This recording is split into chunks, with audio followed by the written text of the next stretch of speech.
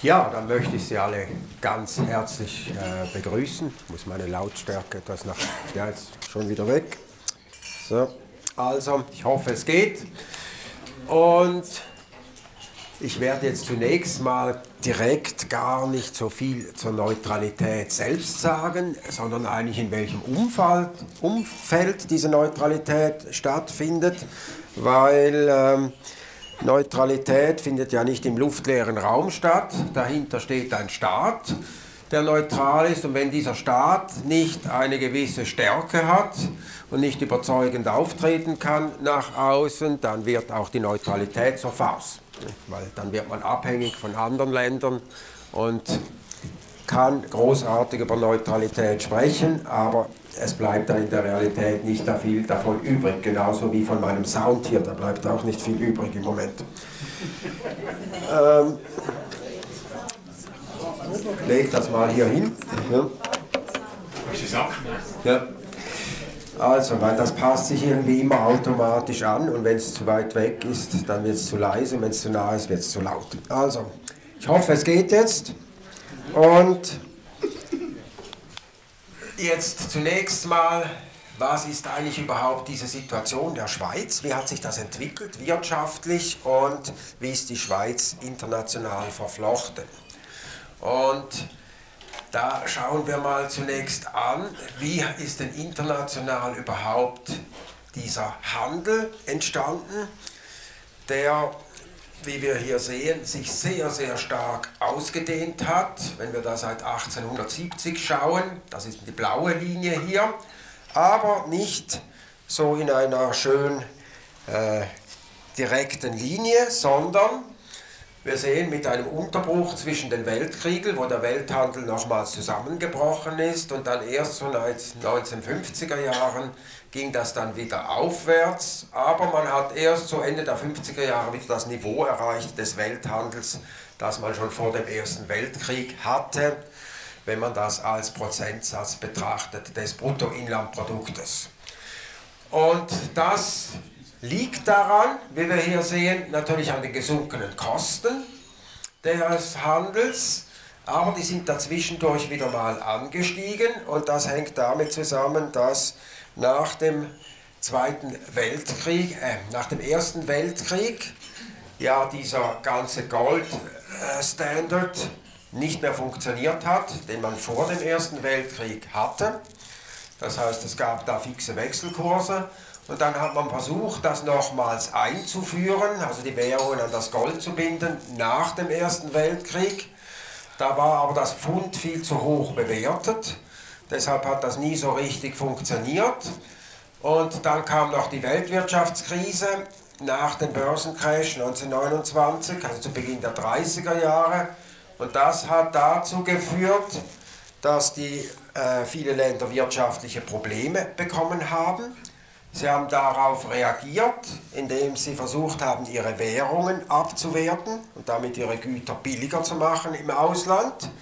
Und das hat eine eigentliche Abwertungsspirale in Gang gesetzt. Nicht? Äh, die USA hat ihre Währung abgewertet, andere Länder haben damit reagiert, indem sie ihre eigene Währung auch abgewertet haben. Das gab so eine Spirale nach unten. Alle Güter wurden billiger dadurch. Und wie hat man sich dagegen gewehrt? Ja, indem man auf der anderen Seite wieder Zölle erhoben hat. Das heißt, da wurde nochmal eine ganz starke Erhöhung der Zölle eigentlich eingeleitet in dieser Zeit, was dann den Welthandel nochmals ziemlich dezimiert hat. Und der war dann so in den 30er Jahren wieder auf ein Viertel geschrumpft dessen, was er hatte äh, vor dem Ersten Weltkrieg. Und erst seither haben wir eigentlich diese relativ ja, lineare Entwicklung hin zu immer mehr Handel, immer mehr Freihandel. Das hängt eben damit zusammen, dass die Kosten gesunken sind. Wenn wir hier nochmal sehen, die Kosten für Seefracht, Lufttransport, aber auch die Kommunikationskosten. Das ist, wie gesagt, der eine Punkt. Und der andere ist eben die Zölle. Und hier sehen wir das noch einmal, diese Entwicklung.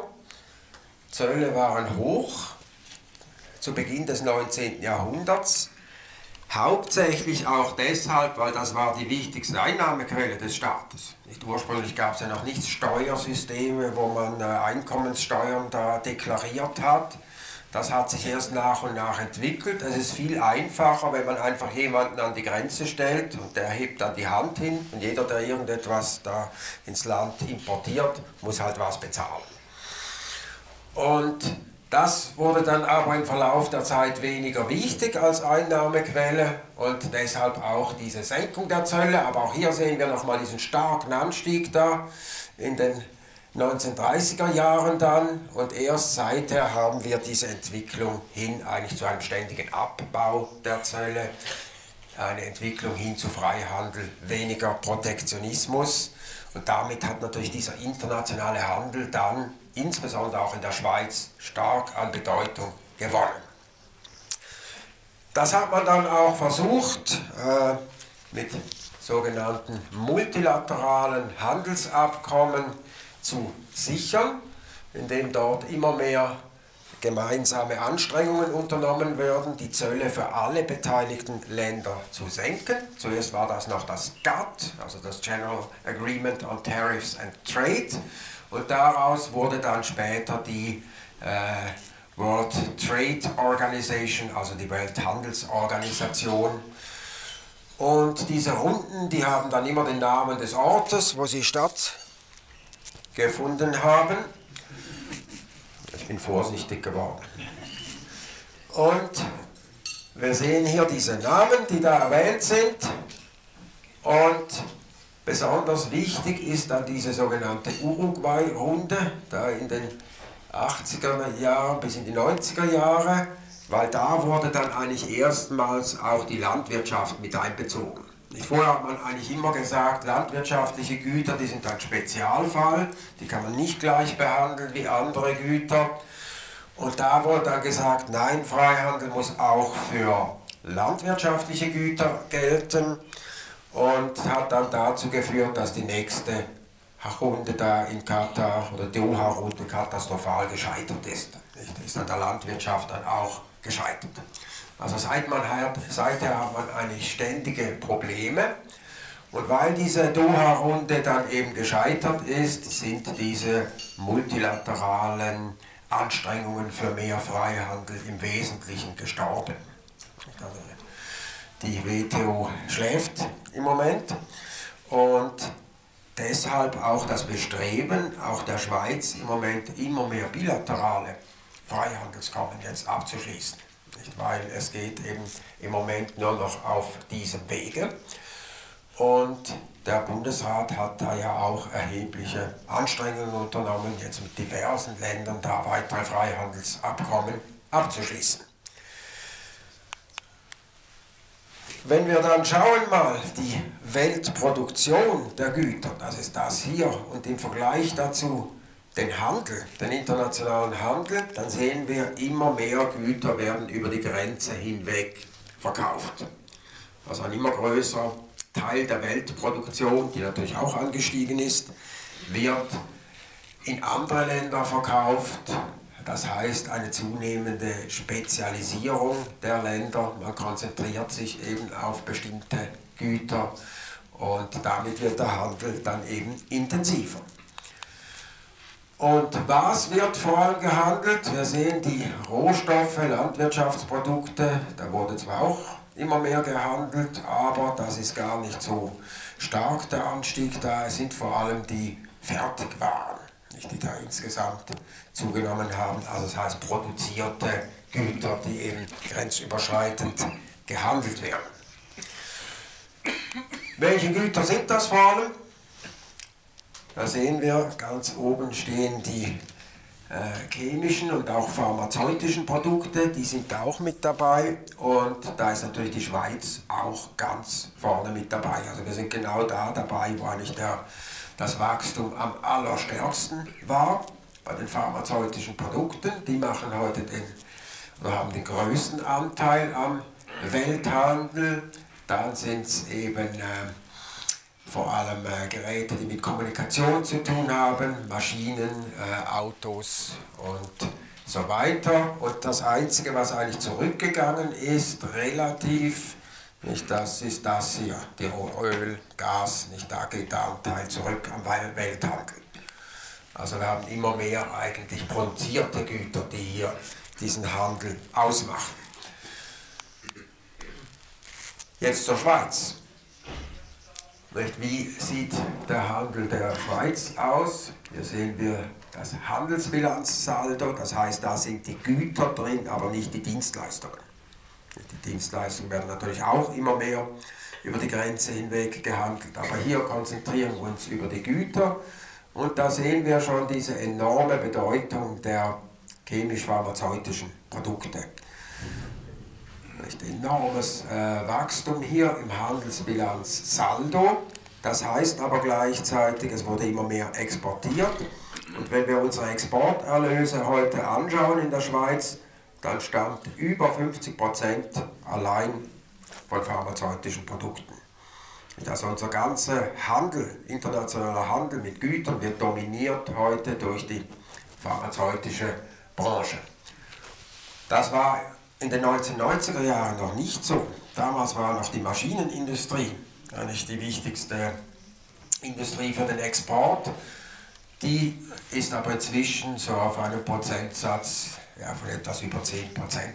Also die ist, hat nicht mehr diese Bedeutung, die sie einmal hatte. Und unser ganzer Exporterfolg in den letzten Jahrzehnten hängt ganz wesentlich an dieser pharmazeutischen äh, Branche. Und wir sehen aber auch schon, wenn wir den Gesamthandel dann anschauen, die Schweiz hat da einen erheblichen Überschuss, das heißt wir exportieren wesentlich mehr als wir importieren in der Schweiz. Und das deutet schon darauf hin, wir sind eines der Länder, die ganz stark profitieren von diesem internationalen Handel.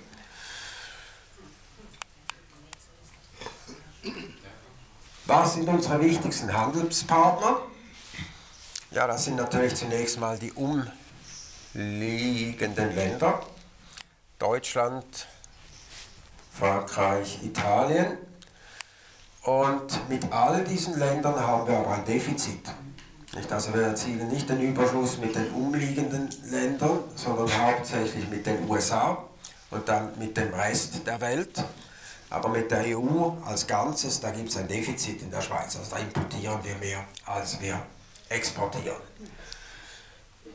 Und wenn wir es aber gesamthaft anschauen, nicht mehr als um die 60 Prozent des Handels findet mit der EU statt heute. Also das heißt, der Euro ist die absolut dominierende Währung, wenn es um den Außenhandel geht, der Schweiz. So, und hier nochmal das etwas kurzfristiger dargestellt. Da sehen wir den großen Anteil der EU ohne Deutschland. Deutschland allein, da ist noch der rote Teil. Aber das Interessante ist jetzt, wenn wir die Entwicklung anschauen seit 2009, nicht, dann sehen wir, wo es vor allem die Zunahme erfolgt ist. Das ist da mit der NAFTA, das heißt äh, USA, Kanada, Mexiko, aber in erster Linie ist es natürlich die USA, wo wir da exportieren und das ist wieder vor allem pharmazeutische Produkte, die in großem Stil mehr exportiert wurden in die USA in diesem Zeitraum. Also das hat deutlich hier zugenommen. Und das deutet auch schon darauf hin, nicht, wir sind in einer gewissen Weise natürlich auch von den USA heute abhängig, in dem Sinn, das ist eine unserer wichtigsten Exportdestinationen. So, hier noch angedeutet in diesem Cartoon, nicht? You drive a Japanese car, drink French wine, eat Chinese food, own an American computer, buy Canadian lumber and vacation in Mexico. How can you be against free trade? Nicht? Auch die Schweiz sieht ja so aus, als ob es eines der Länder ist, das extrem profitiert von diesem Freihandel, wenn wir das angeschaut haben.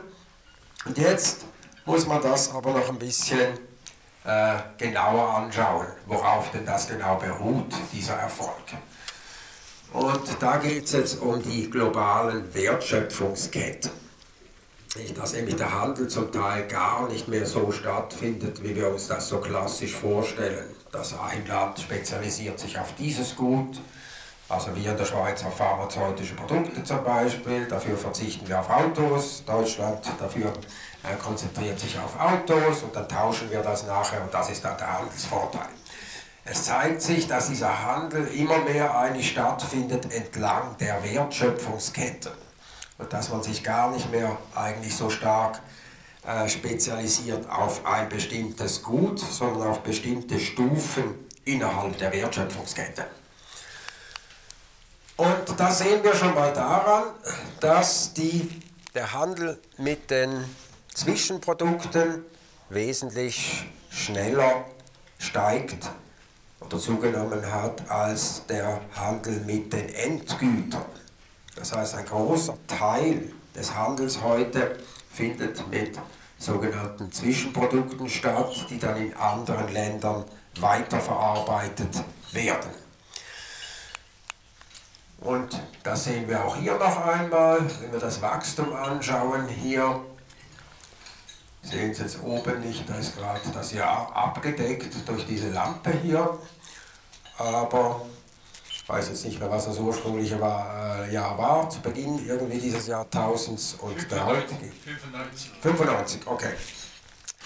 Und wir sehen auch in der Schweiz, nicht, der Handel mit den Zwischenprodukten das heißt, die Exporte sind das hier nicht, der ist wesentlich stärker gewachsen als mit den Endprodukten und das ist etwas, was wir in praktisch allen Ländern beobachten. Das heißt, alle diese Produkte, die werden nachher dann weiterverarbeitet. Und besonders deutlich ist das, wenn wir die EU als Ganzes mal anschauen. Nicht was exportiert die EU und was importiert die EU.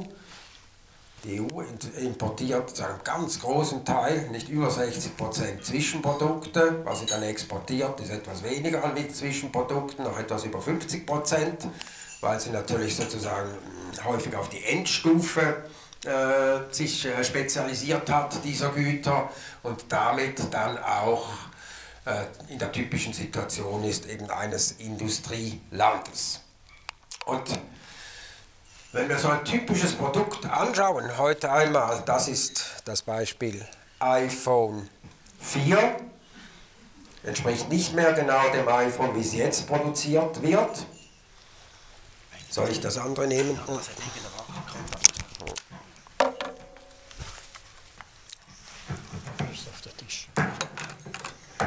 Also kurze technische Störung gibt es heute nicht mehr beim Fernsehen, aber früher gab es das manchmal, so diese Meldung, kurze technische äh, Störung.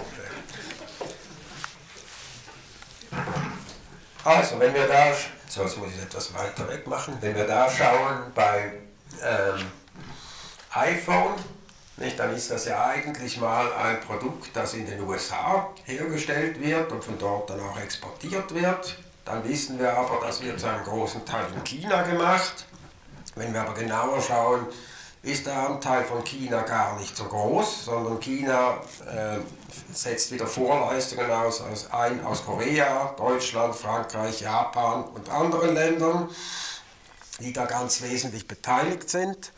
Dann nachher kommen wir da zum Handel China-USA. Äh, da wird das dann verkauft zu einem Preis von knapp 200 äh, Dollar in die USA. Und dann sehen wir auch, wo die ganz große Wertschöpfung dann tatsächlich ist. Nicht die ist in den USA auf der aller, bei der allerletzten Stufe. Am Schluss wird dann dieses äh, iPhone verkauft für einen Preis von etwa 600 Dollar und davon hat fast die Hälfte dann an der Wertschöpfung Apple selbst. Also ist es gut, wenn man irgendwie da positioniert ist, wo Apple positioniert ist. Und das Gute jetzt in der Schweiz ist, dass wir auch da positioniert sind. Und das ist jetzt diese sogenannte Smile-Kurve. Wo findet denn die Wertschöpfung tatsächlich statt, so wenn wir uns das anschauen entlang der Produktion eines Gutes? Dann stehen am Anfang die Dienstleister vor der Herstellung, das ist mal die Entwicklung des ganzen Produktes, also die Forschung, äh, dann äh, die Entwicklung von Prototypen und so weiter. Das sind die ganzen Dienstleistungen vor der Herstellung. Dann kommt die eigentliche Produktion und am Schluss kommen dann die Dienstleistungen nach der äh, Produktion. Das ist äh, das ganze Marketing, Branding, der Verkauf dieser Produkte. Und wenn wir da in den 1970er Jahren geschaut haben, dann sehen wir, das ist relativ gleich noch verteilt über diese drei Wertschöpfungsstufen natürlich vereinfacht. In Wirklichkeit sind es noch viel mehr äh, Stufen, aber wir können die so zusammenfassen. Und in der neuesten Zeit sehen wir, da ist ein immer deutlicheres Smile draus geworden. Das ist das hier. Das heißt, man verdient viel am Anfang der Wertschöpfungskette und man verdient viel am Ende der Wertschöpfungskette und man verdient nicht viel mit der eigentlichen Produktion. Und wo ist jetzt die Schweiz? Ja, die Schweiz ist vor allem hier und hier. Nicht? Damit ist eigentlich schon ein großer Teil unseres heutigen wirtschaftlichen Erfolges erklärt. Wir produzieren nicht. Weil diejenigen, die produzieren, nicht, die sind meistens dann hier und damit macht man nicht sehr viel Geld. Das heißt, die Schweiz ist sehr innovativ. Sie schneidet ja da regelmäßig auch sehr gut ab bei diesem äh, Global Competitiveness äh, Report. Das heißt, wir entwickeln viele neue Produkte, sind also stark hier und äh, dann die eigentliche Produktion, die haben wir zu einem großen Teil outgesourced, die findet irgendwo im Ausland äh, statt. Und wir machen aber dann wieder sozusagen das Branding, das Marketing, das wird dann im Idealfall als hochwertiges Schweizer Produkt nachher verkauft. Und da ist natürlich die große äh, Wertschöpfung drin. Jetzt, warum ist das so? Warum ist das hier gering? Ja, das tendiert eben zur Standardisierung, nicht die, äh, die Produktion. Das heißt, da gibt es globale Konkurrenz. Da spielt dann eine Rolle, wo findet das am billigsten statt. Die erste Industrie, wo das in großem Stil stattgefunden hat, war die Textilindustrie. Die ist immer dahin gegangen, wo es am günstigsten war. Andere Industrien sind dem gefolgt. Und so sehen wir, dass äh, zwar dann immer günstiger produziert werden konnte, aber das heißt gleichzeitig immer weniger Wertschöpfung. Also da, wo produziert wird, da macht man nicht mehr viel Geld. Weil wenn man da die Preise etwas anhebt, dann geht es halt in ein anderes Land. Am Anfang der Wertschöpfungskette hingegen, da ist die Konkurrenz nicht groß. Es gibt nicht so viele, die wirklich äh, erfolgreiche Produkte entwickeln können. Und es gibt auch nicht so viele, die nachher ihre Produkte als äh, hochwertige äh, Güter mit hoher Qualität verkaufen können. Und das heißt, wir sind da eigentlich genau am richtigen Ort, wenn man das anschaut heute. Deshalb wird auch, wenn man das anschaut hier, wer profitiert wirklich von der Globalisierung, dann ist die Schweiz da ganz vorne mit dabei. Also das ist eines der Länder, die am stärksten profitiert von der Globalisierung. Wie man das ganz konkret hier ausrechnet, da kann man Fragezeichen setzen. Aber von der Tendenz her ist es sicher so.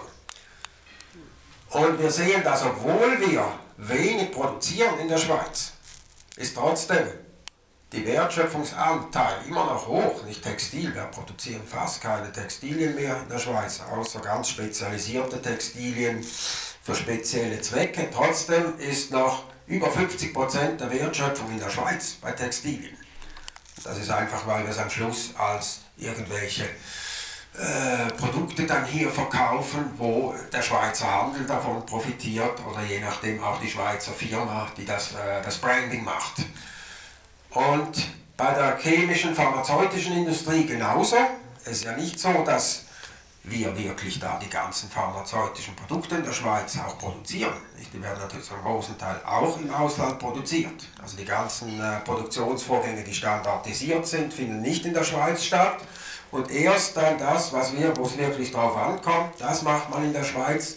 Aber man kann es nachher natürlich zu hohen Preisen verkaufen. Nicht? Und das ist tendenziell, wenn wir dann darüber gehen, nicht? also von dem, was wir in der Schweiz dann exportieren, da bleibt tatsächlich der größte Teil der Wertschöpfung auch in der Schweiz. Das heißt, da müssen wir nicht äh, den größten Teil eigentlich wieder dann ausgeben für Importe, sondern der Anteil ist relativ klein. Also der Wohlstand steigt in der Schweiz. Ja, und da hier noch ein Beispiel. Nicht wahr? Es ist das absolut erfolgreichste landwirtschaftliche Exportprodukt der Schweiz. Das ist Kaffee. Das hat jetzt natürlich die Schweizer Bauern sehr gefreut, dass ihr Kaffee endlich auch im Ausland Anklang findet. Ja, wir können aber lange suchen in der Schweiz. Es gibt bei uns keinen Kaffee.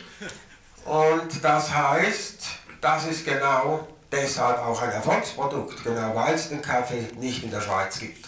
Das heißt, ich kann den billig importieren aus dem Ausland, nicht billige Rohstoffe, möglichst schon verarbeitet, sodass nur noch die allerletzte Produktionsstufe in der Schweiz gemacht werden muss, das Rösten.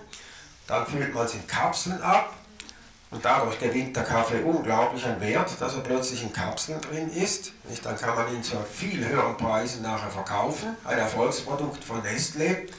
Nicht? Das zeigt, wo die Wertschöpfung eben tatsächlich dann stattfindet.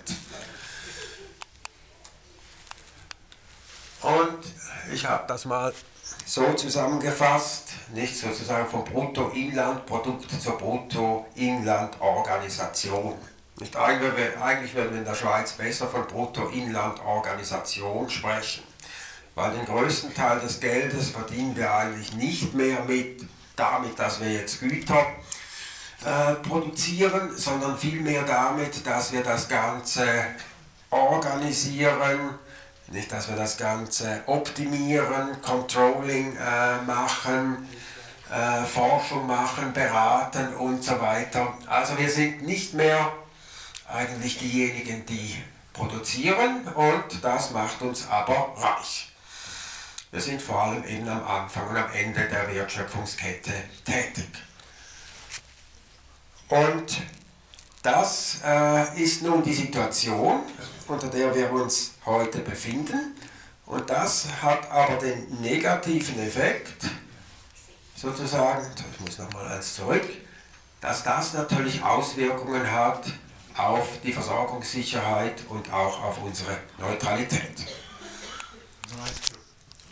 Ja, ich lasse das weg aus äh, Zeitgründen. Also, nicht die Schweiz müsste eigentlich, wenn wir da diesem Argument folgen würden, der komparativen Vorteile, die landwirtschaftliche Produktion aufgeben. Das lohnt sich nicht in der Schweiz. Alle Lebensmittel kann man billiger im Ausland äh, anbauen und dann importieren.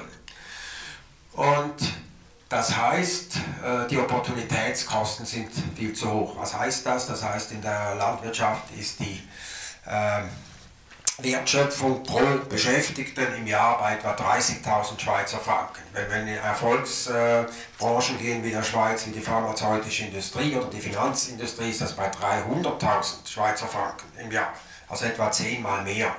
Würde heißen, die wenigen Bauern, die da nur weniger wirtschaften, die sollten auch äh, in die pharmazeutische Branche gehen oder in die Finanzindustrie, schaffen dann viel mehr Wert, dann können wir alles billiger importieren und haben immer noch mehr Geld, äh, Einkommen zur Verfügung, wo wir uns weitere Dinge leisten können. Nicht das wäre die eigentliche rein wirtschaftliche äh, Argumentation. Aber in der Schweiz spielt etwas anderes auch noch eine Rolle und das ist die Versorgungssicherheit. Und das heißt, wir leisten uns in der Schweiz sozusagen den Luxus, dass wir eine Landwirtschaft eigentlich als einen Entscheid gegen den Markt am Leben erhalten.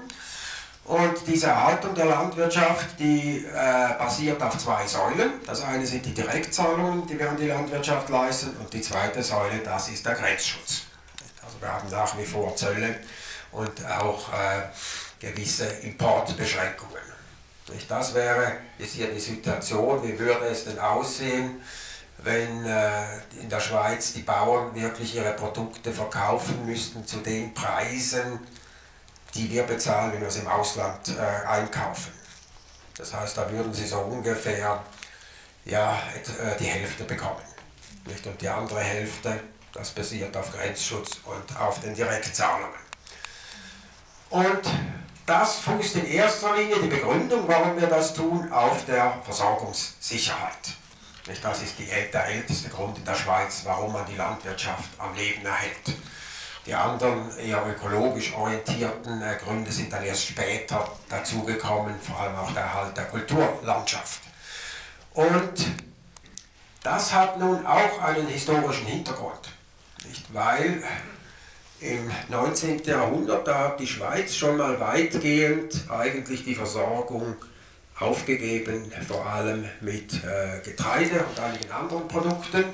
Und dann ist aber im Ersten Weltkrieg eine Knappheit entstanden. Das heißt, da vor allem Winter 16, 17, Kartoffeln, Milch, Getreide wurde knapp und die Grundversorgung ist zusammengebrochen.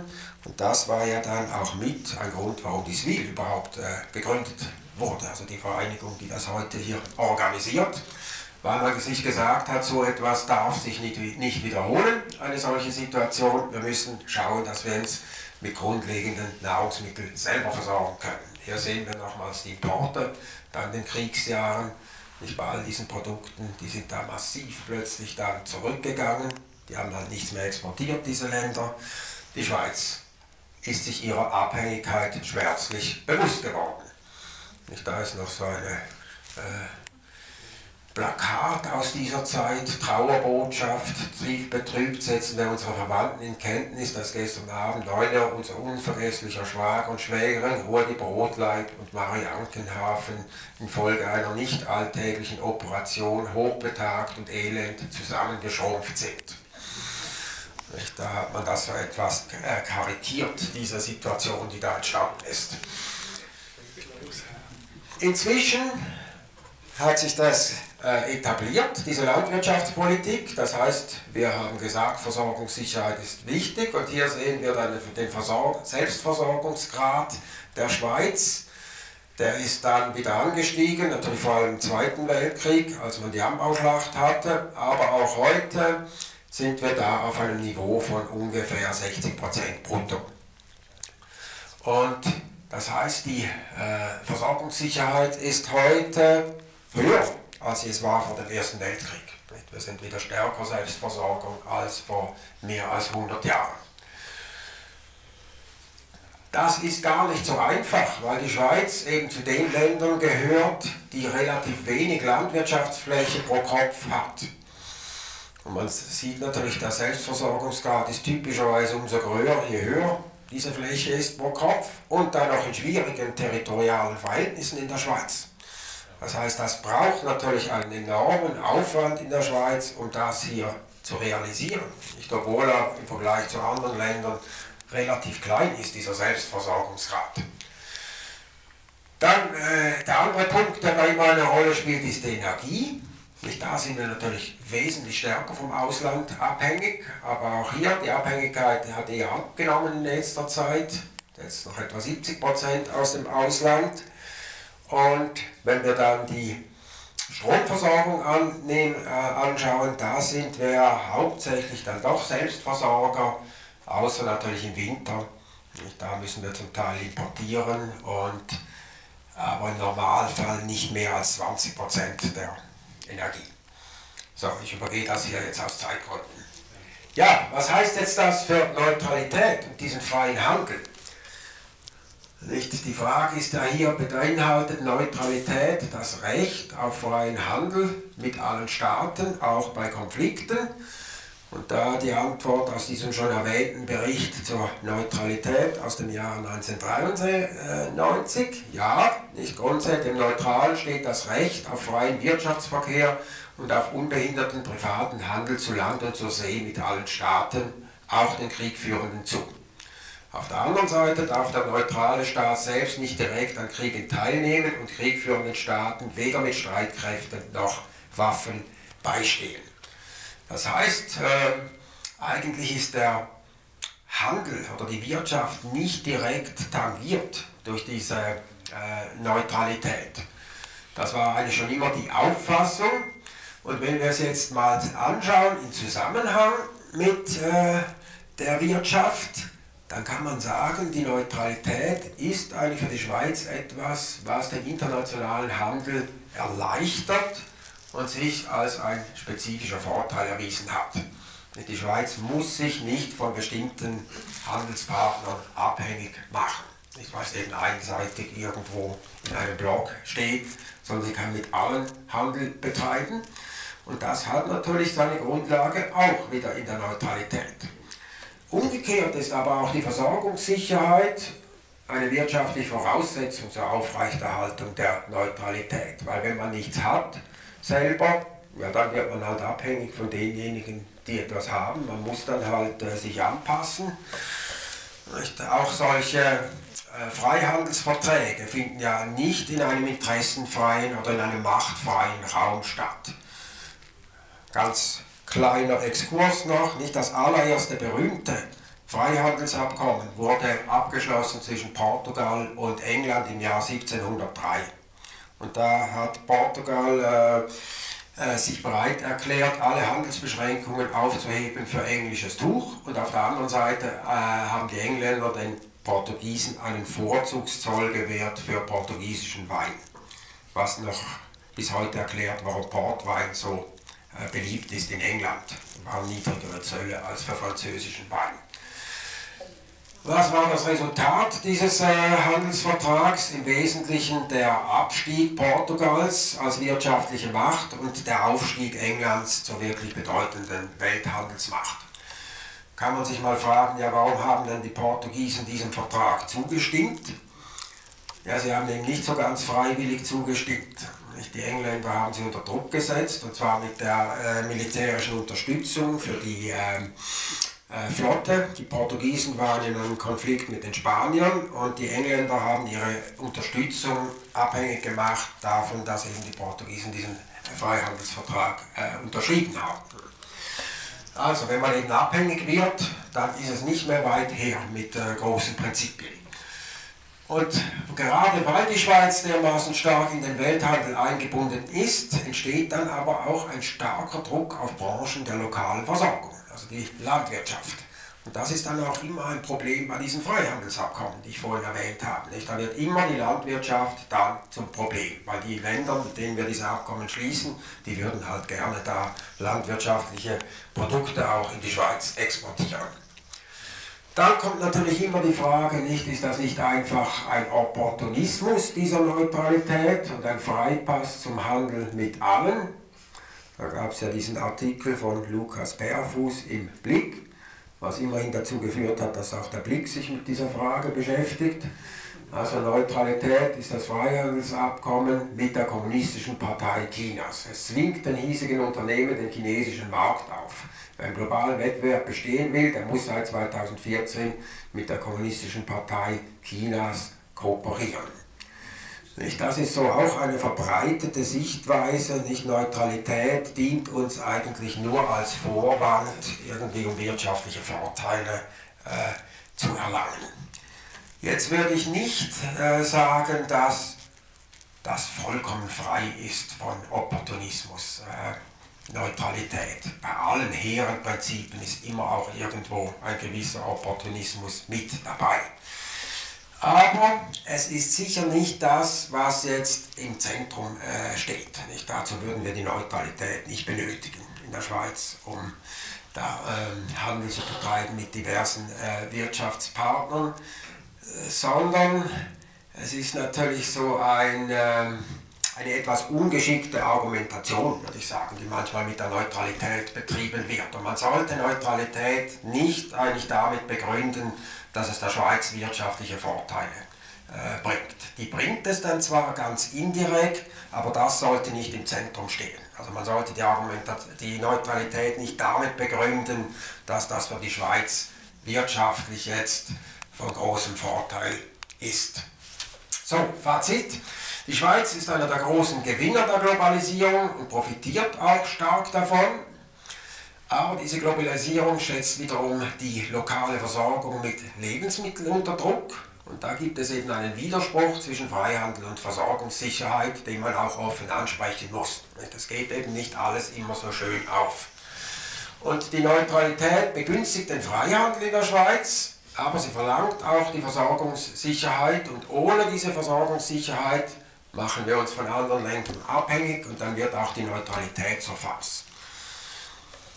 Aber Eine immerwährende Neutralität, so wie es erwähnt wurde vorher, ist ein Garant der Stabilität des Wirtschaftsstandortes Schweiz und sie hat damit eben indirekt, nicht dadurch einfach, dass wir jetzt Vorteile haben, mit gewissen Ländern auch noch handeln zu können, sondern eigentlich als ein Standortvorteil der Schweizer Wirtschaft auch eine wirtschaftliche Bedeutung. Nicht, nicht zuletzt deshalb gilt die Schweiz auch als sicherer Staat. Vielen Dank. Ah, letzte Bild noch vergessen. Hier. Nicht. Das deutet so ein bisschen darauf an, die Neutralität wird zum Schweizer Käse, aber das sieht man eben von außen nicht. nicht dieser Käse ist ja abgedeckt und äh, das deutet eben so ein bisschen darauf hin, auf das, was vorhin erwähnt wurde. Ich versuche die Neutralität anzuknabbern. Ja. Gut. Sie fragen? Herr Dr. Eine Frage. Nachdem hier die Produktion so schlecht wegkommt, habe ich jetzt eine Frage. Im Jahr 2000 hat, haben ja uns die Nobelpreisträger mitgeteilt, die Knowledge Based Society kommt, wir brauchen keine Produktion, darauf ging alles nach Asien, recht und schön. Und heute sind wir in der Situation beispielsweise, dass Amerika gar keinen Krieg führen könnte, weil sie ja ihre Komponenten für ihre Waffen aus China importieren müssten. Die Chipproduktion ist in Taiwan, aber das wollte ich nicht. Ich wollte jetzt folgendes fragen. Jetzt sagen sie plötzlich, alles muss wieder zurück. Also die Nobelpreisträger haben vor 20 Jahren uns erklärt, es muss alles hinüber, aus irgendwelchen Gründen.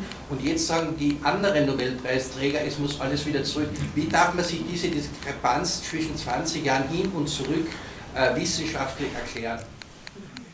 Ja, es ist natürlich jetzt nicht so, dass ich das schlecht gemacht hätte, denn äh, die Produktion, es ist nur so, dass man kein Geld damit verdient, zu einem großen Teil. Äh, das ist das Problem. Aber natürlich fußt alles auf der, auf der Produktion. Und ich versuche da gerade zu dieser Folie zu kommen, die ich vorher unterschlagen habe, weil die geht eigentlich äh, auf das äh, ein. Es ist ja nicht so, dass wir nicht mehr produzieren in der Schweiz, jetzt gar nicht mehr. Oder? Wir machen natürlich schon sehr viel spezialisierte Produktion und es gibt eine gewisse Tendenz, das ist das letzte hier dank der Digitalisierung, dass es dann plötzlich gar nicht mehr so darauf ankommt, wo die Produktion stattfindet, weil wenn sie vollständig automatisiert ist, spielen die Arbeitskosten keine sehr große Rolle mehr. Also dann kann man es ja auch wieder in der Schweiz machen, weil das hat dann doch gewisse Vorteile, wenn das in der Nähe ist. Also es gibt auch eine gewisse äh, Umkehr hier und wir sehen natürlich, dass äh, erstens diese Versorgungssicherheit an Bedeutung gewinnt und dass aber strategische Interessen unterschiedlicher Wirtschaftsblöcke natürlich wieder stark an Bedeutung äh, gewinnen im Moment. Und das heißt, wir wollen auch nicht mehr abhängig sein von China zum Beispiel.